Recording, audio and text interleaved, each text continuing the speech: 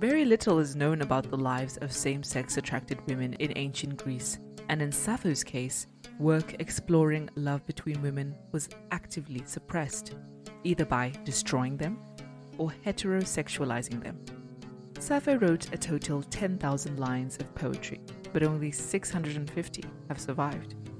Her poems are often melancholic due to unrequited love or true love being impeded through forced marriage. Regarding style, her work is characterized by simple thoughts, clear language, and a decorative use of hyperbole.